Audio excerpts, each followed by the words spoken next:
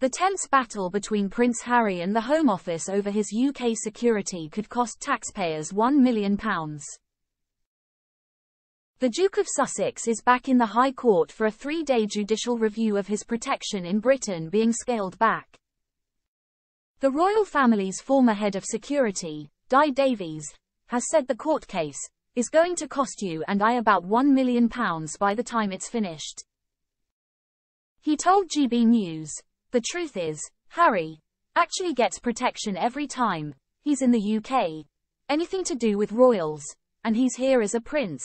Yes, of course he gets it. What he wants is armed protection when he comes here and has done for a number of years. Davies added that the Duke of Sussex has personal security, telling viewers, he brings his own protection teams who are not armed, but a number of them are former royalty protection officers.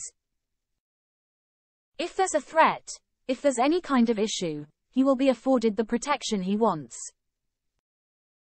This is a storm in the cup and it's going to cost you and I about £1 million.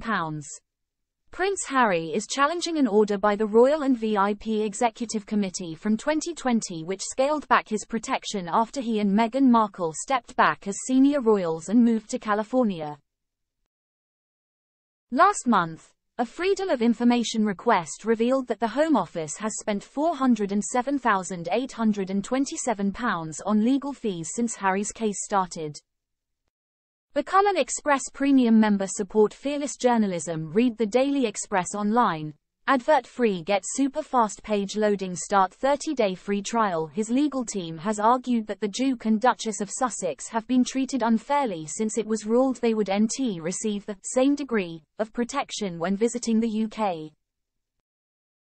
While his counsel has claimed Harry was not allowed to make proper representations to RAVEC before his security was rolled back. Harry's barrister Shaheed Fatima KC told the High Court on December 5, the claimant's consistent position has been, and remains, that he should be given state security in light of the threats, risks he faces. The cost of the royal family's security is secret on grounds of national security, but estimates of the cost to the taxpayer range from between several million pounds to as much as 100 million pounds, according to the Institute for Government think tank.